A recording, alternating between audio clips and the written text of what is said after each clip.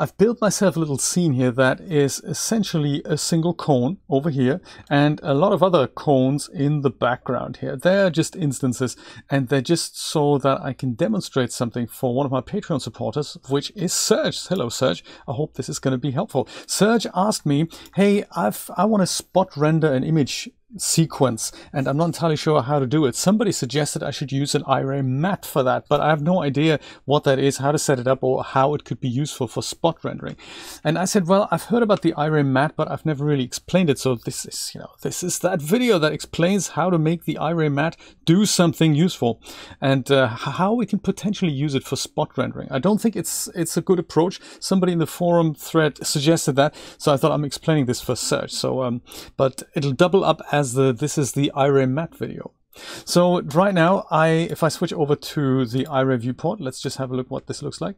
It's the default HDRI image and we can see that all my little trees cast shadows on this kind of imaginary plane at the bottom. That's just an Iray feature that I've enabled in the environment options.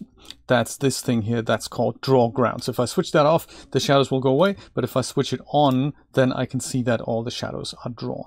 That's just something to keep in mind.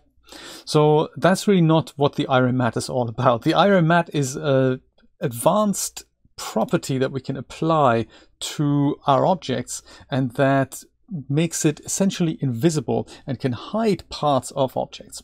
So let me go and switch this back to filament and bring myself a primitive in.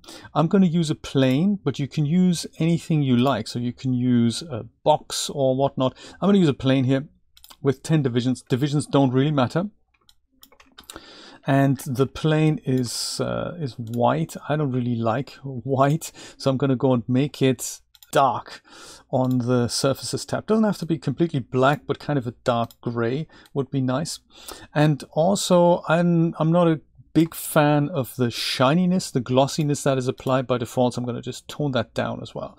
That's under the base glossy and then glossy roughness. If we crank that up, it just gets, you know, doesn't doesn't shine anymore. So right now, if I were to go and render this in Iray now, we have to check this feature in Iray. I don't really see anything special about it. The plane, if I go and lift it up, will cast its own shadow as it intersects with my cone. But other than that, I can see that it now casts a shadow on the imaginary ground plane. And the little cone that's sticking out kind of casts a shadow onto my, my plane. So watch what happens now as I go and enter my content library and find myself the scripts folder. So this is here my DAZ 3D library. If I go and scroll down, I find my scripts folder and in the scripts folder there's a utilities folder and in the utilities folder there's several bits and pieces. One of them is this thing here, the create advanced Iray node properties. So that's something that comes with Studio. It's kind of, you know, it's built in and all we can, all we need to do really with it is apply it to an object that we want to give these advanced Iray properties to.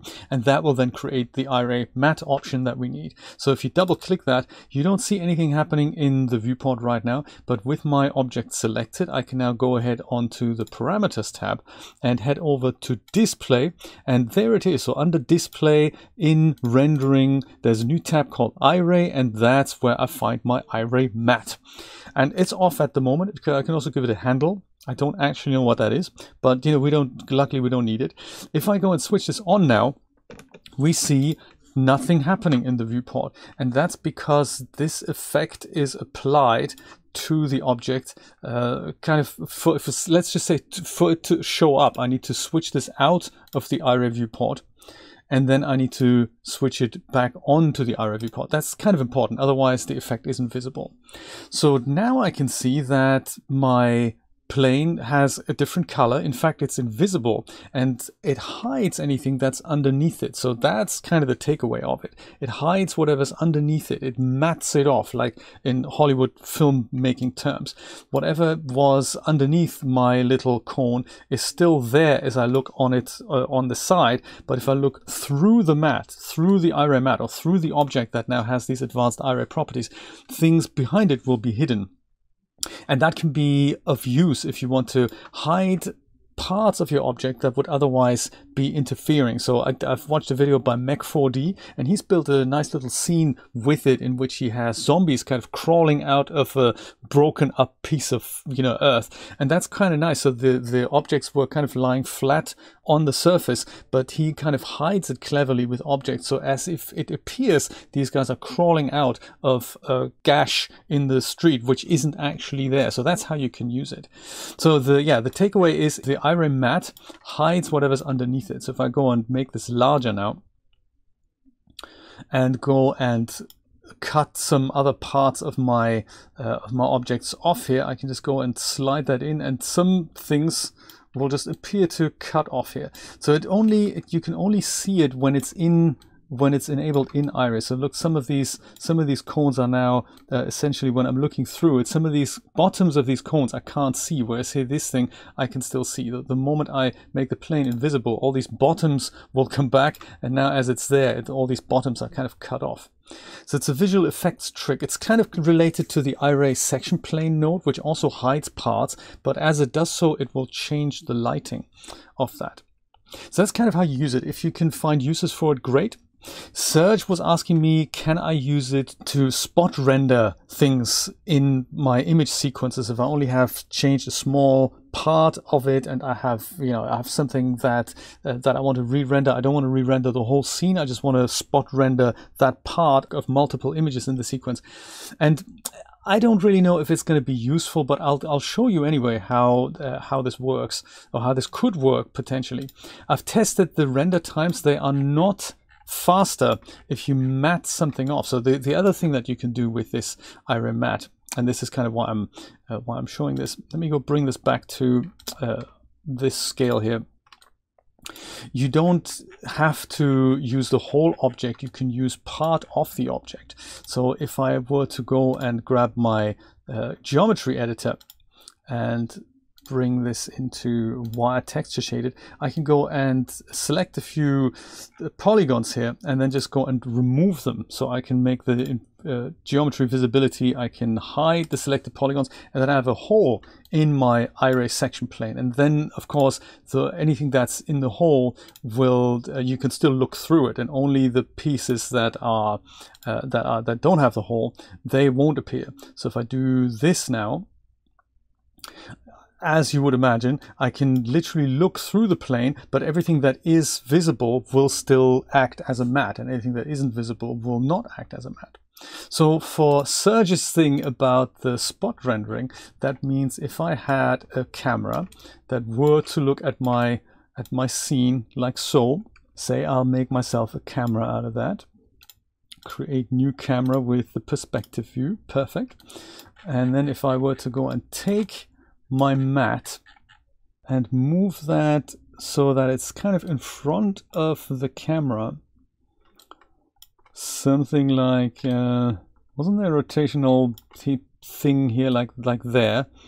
And you know, if you were to, if you were clever, you had created the camera probably slightly differently. Uh, not like not like me, but just as a as an example, my tool settings should probably be the local coordinates. There we go. That might make my life a little easier. Yeah, so I wonder what happens if I go and look through my camera or look through two viewports now, maybe top and bottom. If I use this as whatever the camera sees. I might also go and change my render settings to 16 by 9, so as if this was a, you know, that's, that's this was this. So this is what my camera sees. If I go and bring this a little bit closer still to the camera, that the that the section node only shows, oh, sorry, the section node, the, the Iray matte only shows a small part, then you could use this as a spot render. So if you go and parent that plane now to the camera, it's kind of cool because you can use the camera and zoom in and you'll only ever see a small portion of that image. So, and as a result, if you go and render this now, you basically have a spot render. So that's what the forum post suggests you could do. But of course, the problem with that is that this render will take you just as much time as the render that um, that would be full size. So Iray doesn't make it's not an actual spot render, if you know what I mean. It just it's a it's a post production effect. In fact, the render with the Iray matte will take you slightly longer than the one that you use without the Iray matte because Iray has less processing to do. Anyway, that is how that works, and I thought, you know, I'll share that with you, both the Iray matte and the fact, is it useful for spot rendering? I don't think so, but do play around with it. Maybe it'll be useful. Exactly, it's another DAZ secret that will be unearthed. Yes, I thought I'd share this, and I hope, you know, Serge, I hope this makes this makes sense.